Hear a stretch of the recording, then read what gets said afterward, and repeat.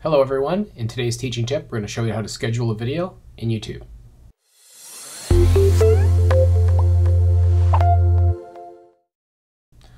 So to get started uh, to schedule a video in YouTube, uh, by scheduling I mean that you want a video to appear at a certain time and date, you go to the upload button right here in create,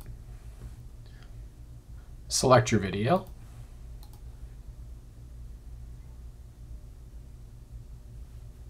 hit next, next, next, and we want to do is go to visibility.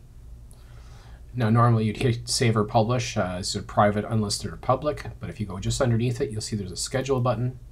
You click on that, and then you can choose what date you want it on. So for example, I want this on September 16th at, uh, let's say 1 p.m.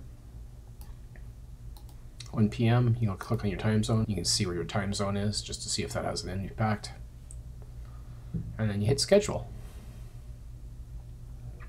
Your video is now set to public. Uh, it will be shown on September 16th at 1 p.m. after the standard definition finishing processes. So basically by the time this is done encoding, it'll have done the standard definition and the high definition version and will be uh, appear on YouTube on the date and time we selected. So hopefully that helps. If you have any questions, you can always reach out to me. Uh, my name is Jeff Troshbang. I am the video and multimedia specialist here in the Hub.